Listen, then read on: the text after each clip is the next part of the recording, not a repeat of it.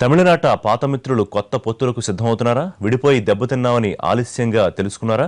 DMK అధ్యక్షుడు కరుణానిధి మాటలు వింటే ఈ ప్రశ్నలకు అవుననే సమాధానం వస్తోంది. వచ్చే అసెంబ్లీ ఎన్నికల్లో వీలైనన్ని ఎక్కువ పార్టీలతో జట్టుకట్టే ప్రయత్నాల్లో ఉన్న కరుణ తాజాగా కాంగ్రెస్ను ఆహ్వానించారు. రెండు వేల పదహారు అసెంబ్లీ ఎన్నికల కోసం తమిళనాట రాజకీయ పార్టీలు సిద్ధమవుతున్నాయి. కొత్త పొత్తుల కోసం పాత మిత్రులకి సంకేతాలు పంపుతున్నాయి. ఈ విషయంలో డీఎంకే ఒక అడుగు ముందే ఉంది. గత అసెంబ్లీ ఎన్నికల్లో కనీసం ప్రతిపక్ష స్థానం కూడా దక్కక భంగపడ్డ డీఎంకే ఈసారి ముందు నుంచే జాగ్రత్త పడుతోంది. ఎలాగైనా అధికారం దక్కించుకోవాలన్న పట్టుదలతో పావులు కదుపుతోంది. తమతో చేతులు కలపమని ఇప్పటికే నటుడు విజయకాంత్ని ఆహ్వానించారు కరుణానిధి. అయితే డిఎండికి అధ్యక్షుడి నుంచి ఇంకా ఎలాంటి స్పందన రాలేదో గత ఎన్నికల్లో అన్నా డిఎంకేతో కలిసి పోటీ చేసి ఉనికి చాటుకున్నారు విజయకాంత్.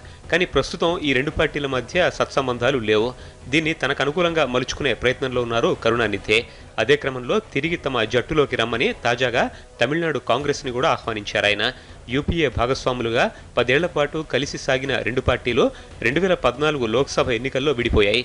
శ్రీలంక తమిళుల విషయంలో కాంగ్రెస్ డిఎంకే నాయకత్వాల మధ్య అభిప్రాయ భేదాలు వచ్చాయి దీంతో రెండు వేల పద్నాలుగులో ఎవరికి వారే పోటీ చేసి ఇద్దరూ నష్టపోయారు. ఒక్క ఎంపీ సీటు కూడా గెలవలేక డిఎంకే బొర్లబడితే కాంగ్రెస్కి దాదాపు పోటీ చేసిన ప్రతి చోట డిపాజిట్లు గల్లంతయ్యాయి. ఆ అనుభవంతో వచ్చే అసెంబ్లీ ఎన్నికల్లో మిత్రులిద్దరూ మళ్ళీ కలిసి పోటీ చేసే అవకాశం ఉందంటున్నారు. యూపీఏ అధికారంలో ఉన్న పదేళ్ళు కేంద్ర మంత్రి పదవులతో డిఎంకే ఢిల్లీలో చక్రం తిప్పింది.